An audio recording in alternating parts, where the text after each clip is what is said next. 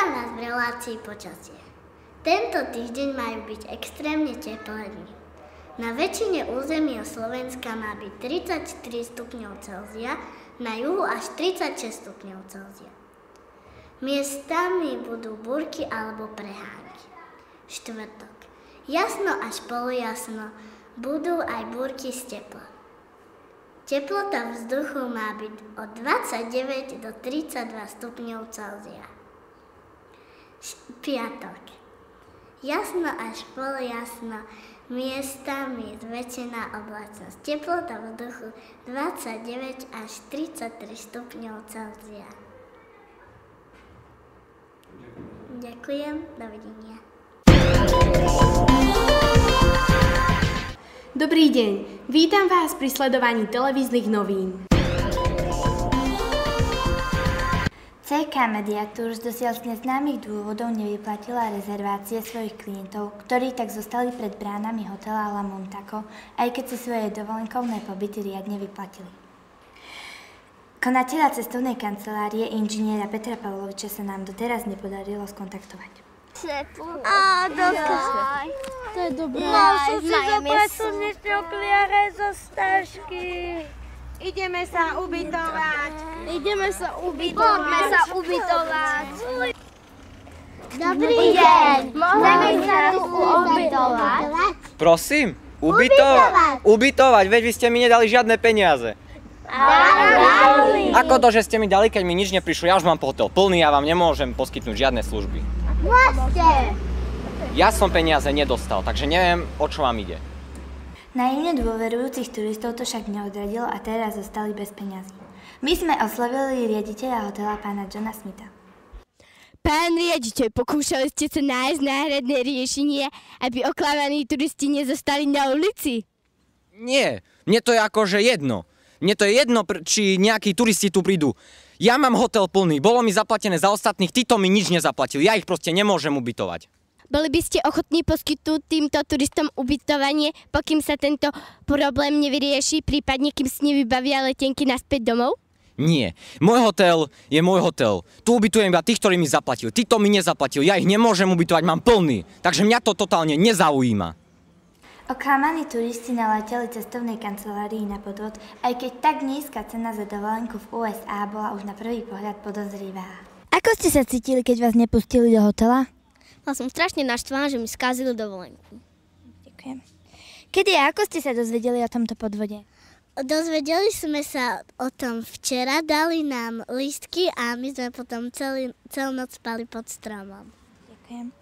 Nebola vám podozrivá nízka cena za dovolenku? Tak nie, lebo niekedy robia také vypredaje a mi to pripadalo normálne v letnej sezóne.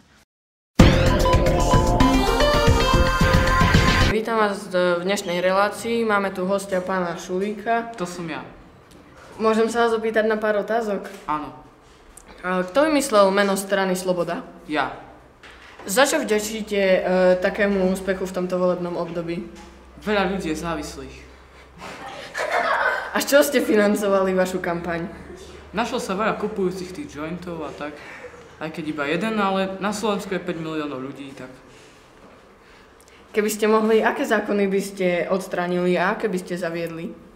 No tak, odstránil by som asi mm, nejaký zákon určite a pridal by som hlavne tie svoje.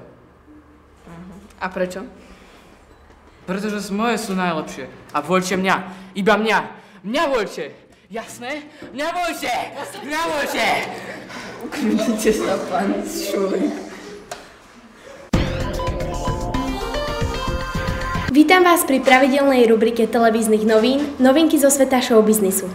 Prednedávnom sa uskutočnil ples v opere, na ktorom bola vyhlásená súťaž o najlepšie oblečenú osobnosť. Vyhrala ju Mariana Ďurianová, ktorá sa pri prípitku po odovzdaní ceny obliala červeným vínom. Vyberte knihu z police, ako by bola skutočná. Začnite prstami tancovať po obrazovke. Dvoma slovami tabletová revolúcia. Predstavujeme vám najnovší výplod Apple iPad.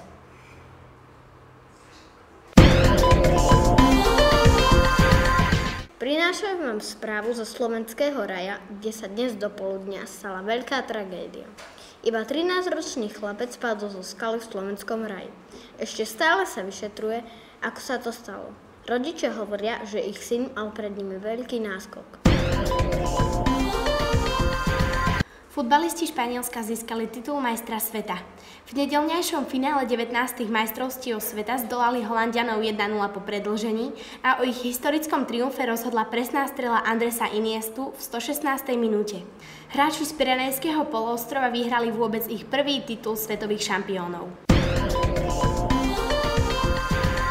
Ďakujem za pozornosť a prajem vám príjemný večer. Dovidenia. Vítajte pri počasí. V Európe vládnu extrémne horúčavy. Dnes sa teploty pohybovali okolo 32 stupňov, zajtra bude o niečo viac okolo 34 stupňov. Nedajú sa vylúčiť ani miestami prehánky. Zajtra e, bude polooblačno až oblačno, 35 stupňov. E, nielen Slovensko, ale aj celá stredná Európa bude v teplotnom pásme 30 až 45 stupňov. Na Slovensku bude od pondelka do štvrtka mm, malá oblačnosť 35 stupňov e, a upozorňujeme, aby starší ľudia a deti dodržiavali pitný režim.